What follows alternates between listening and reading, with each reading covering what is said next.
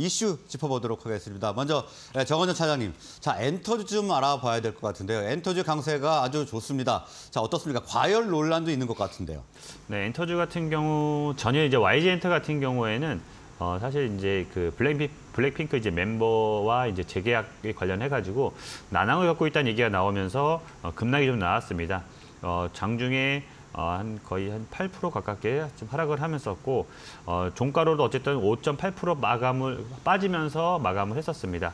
아, 오늘 같은 경우에는 뭐 어뢰 낙폭이 좀 컸었기 때문에 아, 반발이 좀 들어오면 반발 매수가 들어오면서 어, 소폭 강보합인 모습이긴 하지만 아, 문제는 이제 이 블랙핑크 멤버와 재계약이 된다라고 하더라도 물론 될지 안 될지도 어, 물음표긴 하지만 어, 가능성이 높긴 하겠지만 어쨌든 어, 재계약이 잘 된다고 하더라도 어, 실적 측면에서 봤었을 때 어, 상반기에는 어쨌든 지난해 대비해서 엄청난 실적 성장을 보였었습니다. 그렇지만 어, 하반기에는 어, 지난해 대비해서 어, 약간 역성장을 전망하고 있기 때문에 어, 폭발적인 성장을 보였던 상반기랑 좀 다른 모습이 나올 수 있다. 어, 그렇기 때문에 어, YG엔터 같은 경우 어제 많이 빠졌다고 하더라도 어, 이, 현재 이, 이 저가 매수로 들어가기에는 조금 리스크가 좀 있다라고 생각을 하고 있고요. 어, JYP 엔터 같은 경우에는 어, 최근에 주가가 계속 올라갔었습니다. 어, 그러면서 오늘도 어, 강보합 정도는 약간 상승하는 모습이 나오긴 하지만 어, 이 JYP 엔터 같은 경우는 상반기에 실적이 좋았고 어, 앞서 말씀드린 YG 엔터와는 다르게 어, 하반기에도 실적 성장이 지금 기대가 되는 그런 기업이긴 합니다. 어, 다만 어, 다른 엔터사들에 비해서 너무 고평가 논란이 있는 상황이기 때문에 어, 지금 가격대에서는 어, 신규로 진입하기에는 약간 조금 무리가 있다라고 생각을 하고 있습니다. 아, 그런 측면에서 이제 가장 좀 괜찮아 보이는 종목은 어, SM이다라고 생각을 하고 있는데 물론 이제 SM 같은 경우 오늘은 한 2% 가깝게 지금 빠지는 모습이 나오고 있습니다. 아, 이 SM 주, 주가도 본다라고 하면 아, 이 3월, 4월 달부터 2분기 내내 주가가 좀 조정이 받으면서 약간 바닥을 좀 다지는 모습이 나왔었고 어, 전일 한 요번 주 화요일하고 수요일 이틀 동안에 어, 힘 있는 지금 모습을 지금 보였기 때문에 어, 하반기 실적 전망치만큼만 실적이 나온다라고 하면 어, 충분히 어, 현재 가격대에서 레벨업이 가능하다라고 보여지기 때문에 어, 현재 가격대에서는 어, 충분히 12만 원대 초반에서는 어, 충분히 매수해볼 만하다라고 생각을 해서 엔터주 쪽에서는 탑픽으로는 어, SM을 꼽아보도록 하겠습니다. 네, 지금 엔터주에 대해서 분석을 해 주셨는데요. 에, JYP 엔터와 YG 엔터는 일단 신규로 진입하기에는 살짝 무리가 좀 있다 이렇게 분석을 해 주셨고 SM은 좀 긍정적인 상황이다 이렇게 말씀을 해 주셨습니다. 자, 다음은 이상엽 비서님. 자, 조선주 좀 여쭤봐야 될 것 같습니다. 지금 뭐 슈퍼 어, 사이클에 진입했다 이런 이야기도 많이 나오고 있는데 어떻게 접근을 하면 좋을까요? 네, 슈퍼사이클에 뭐 동의하고요.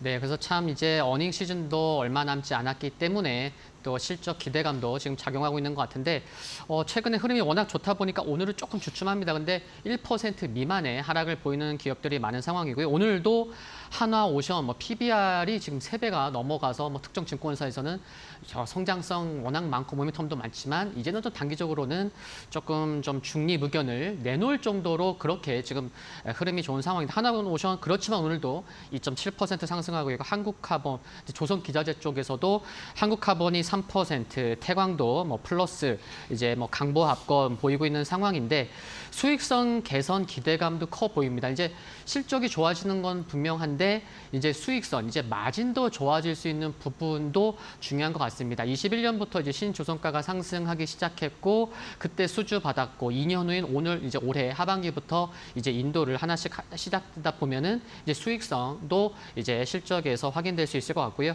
그리고 어제 좀 상승폭이 컸었는데 물론 수주 김대감도 있지만 어제 같은 경우에는 이제 국제 해사 기구 이제 IMO에서 2050년 탄소 중립에서 온실가스 감축 목표를 상향시켰던 게 굉장히 어제 좀 뜨겁게 모멘텀으로 작용을 했는데 기존에는 탄소 감축을 2050년까지 한 50%만 감축하자라고 했는데 이게 네, 100%까지 늘었습니다. 그래서 2030년까지는 최소 20% 줄이고 2040년까지는 최소 70% 감축해야 되는데 지금 막 이제부터 뭐 시작하는 건 아니고 한 2027년부터이지만 친환경 관련된 그런 뉴스들도 앞으로 많이 접할 수밖에 없고 지난 6월 달 같은 경우에는 LNG보다 친환경 메탄올 수주가 더 많았었거든요. 그래서 아 조금 멀게 느껴지긴 하지만 감축 목표가 상향된 거 아, 계속해서 좀 중요할 것 같고 그리고 또 음, K조선 같은 경우가 이제 환경 규제가 음, 기술적 진입장벽을 높인다는 측면에서는 어, 상대적으로 경쟁력이 있는 부분도 중장기적인 모멘텀이 될 것 같고요. 그리고 신조선가 여전히 뭐 높은 데 위치해 있고 최근에 워낙 이제 조선주들 이제 인도받기 어렵다 보니까 lead time이 길어지잖아요. 그래서 야, 중고 LNG 선가도 굉장히 높다고 합니다. 상승하고 있고. 그러다 보니까 야, 이쪽 신조선가는 이게 내려오기가 쉽지 않겠구나. 이 부분도 중기적으로 좋은 흐름이라고 생각이 들고요. 또 음, 상반기에 LNG선 국내가 한 80% 이상의 점유율 수주를 기록을 했는데 하반기에는 LNG선 운반선 발주가 상반기보다 무려 67% 증가할 것으로 전망됩니다. 좀 특수성이 있죠. 내년에는 없지만 올해 같은 경우에는 하반기에 그 이제 LNG 프로젝트가 있는 거죠. 대규모. 그래서 카타르 에너지 한 약 40척, 모잠비크 프로젝트가 17척 등이 있기 때문에 어느 때보다 하반기 LNG 수주 기대감도 있다는 것도 봤을 때는 좀 많이 올라와 있지만 trading 관점에서 조정 시의 관점은 좀 계속해서 긍정적으로 봐야 되지 않나 싶습니다. 네, 조선주 여러 가지 상승 모멘텀에 작용을 하면서 긍정적 움직임을 보여주고 있습니다. 자, 다음은 관심 종목 알아보도록 하겠습니다. 먼저 정원정 차장님. 네, 제가 오늘 가져온 종목은 PI 첨단 소재 가지고 왔습니다. 전에도 한번 추천했던 종목이긴 한데 어, 좀 잠잠을 하다가 아, 6월 28일, 6월 말에 어, 이 글로벌 화학회사인 프랑스 기업 아케마가 지분 54%를 1조에 인수한다는 얘기가 나오면서 어, 장중 어, 44,950원까지 장중에 좀 많이 급등을 했었죠. 16% 가깝게 상승을 했는데 어, 장중에 차익 실현 물량이 나오면서 어, 종가 기준으로는 마이너스 2.5%로 빠지면서 마감을 했습니다. 6월 말에. 아, 그 이후 주가도 계속해서 약세인 모습이 나오면서 어, 하락하는 모습이 나왔는데 어, 7월 달 들어서면서부터 어, 수급 쪽으로 많이 바뀌기 시작을 했습니다. 외국인들이 순매수가 지금 계속해서 들어오는 모습이 보였고 어, 그리고 이번 주 화요일부터는 기관 쪽에서도 순매수가 들어오면서 어, 수급적인 측면에서 상당히 긍정적으로 바뀌고 있다라고 보시면 될 것 같습니다. 어, 실적 측면에서 맞섰을 때는 어, 1분기에는 부진한 수요 때문에 어, 영업이익이 117억 정도 영업 적자가 나왔었습니다. 아, 그렇지만 2분기부터는 어, 원재료 가격이 하락하면서 어, 마진 개선이 지금 된다라는 기대감과 아까 말씀드린 이제 지분을 인수한 어, 글로벌 화학회사인 아케마와의 어, 시너지 효과가 조금 나올 것이다라고 지금 보이기 때문에 아, 하반기에는 본격적으로 실적의 정상화 쪽으로 돌아갈 것이다라고 예상을 하고 있습니다. 어, 전일 종가 기준으로 시가총액이 1조 200억 정도 됐는데 아까 말씀드린 아케마가 어, 평가를 시장 가치 평가를 한 1조 8,500억 정도로 예상을 가치를 평가를 하면서 지분 인수를 했었습니다. 어, 경영 프리미엄이 더 붙긴 했었지만 어쨌든 현재 PI 첨단 소재는 어, 시장에서 평가하는 가치보다 어, 너무 저평가되고 있기 때문에 오늘 가지고 와봤고요. 어, 가격 전략까지 말씀드린다라고 하면 어, 단기적으로 목표가는 4만 원, 어, 손절가는 어, 3만 2,500원으로 잡아보도록 하겠습니다. 네, PI 첨단 소재 관심 종목으로 알아봤고요. 다음은 이상엽 이사님. 네, 오늘 네이버를 소개해 드릴까 합니다. 최근에 뭐 네카오가 좀 바닥권에서 좀, 좀 행보 조금 돌리는 모습도 좀 나오고 있는 상황인데요. 실적도 볼만한 것 같습니다. 일단 눈높이가 많이 좀 낮아져 있다라는 부분에서 좀 안도할 수 있을 것 같고요. 이것서 2분기 전망 매출과 영업이 각각 한 20.2%, 10.3% 증가할 것으로 전망이 되고 있고요.